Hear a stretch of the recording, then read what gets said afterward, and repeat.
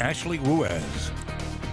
Good morning, friends. It is 6.53 on this last day of 2020 and a beautiful sunrise, a cotton candy sunrise, if you will. We had some showers move across the area, and I know it's quiet now, but as the day goes on, especially now that we are seeing some sun, even though the sun is coming up, we could see strong to severe thunderstorms around lunchtime and therefore after. So I'm going to break it down for you hour by hour in just a minute, but I just wanted to share that beautiful sunrise with you guys. A few spotty showers overnight and into the early morning hours. And again, as the day goes on, we're going to get that uh, fuel to see showers and thunderstorms pop up. It's looking like they'll begin to pop up around lunchtime, give or take an hour or so. And then as we head through the afternoon and evening, that's when we will have that window of opportunity for strong to severe thunderstorms to develop and move across the area. Right around midnight, uh, that's when I am thinking uh, the bulk of the rain rain will be exiting the area, but that's not to say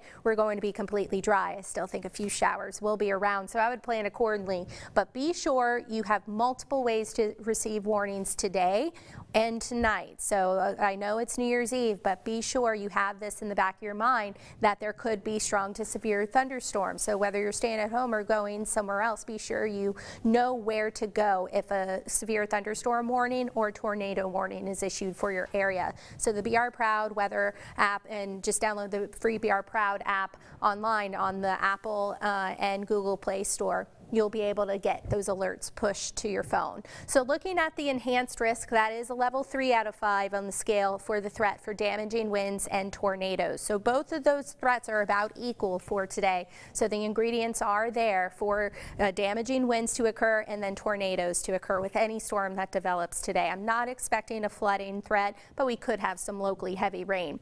This is the graph model showing again storms popping up around lunchtime, give or take a few hours, and then we're seeing clusters of thunderstorms. Those are going to be the storms. They're called discrete cells that we're going to have to watch for some rotation. Those could spawn a few tornadoes. So again, this is 330, still seeing those clusters moving across southeast Louisiana. And so it's not going to be widespread rain. They're going to be pretty uh, isolated to scattered, possibly even numerous. And then the late evening hours, 8, 9, 10 o'clock or so, a broken line of thunderstorms will move in from west to east. And here's around midnight. It might be an hour or so quick, but I do think, again, that main line will be to our east by then, but still plan on at least some wet weather for midnight. New Year's Eve weekend looking fine overall, 64 tomorrow, clearing skies, 58 on Saturday, and then Sunday, a high near 60. So again, today is a weather aware day. Be sure you stay up to date with us on NBC Local 33, brproud.com, and Fox 44.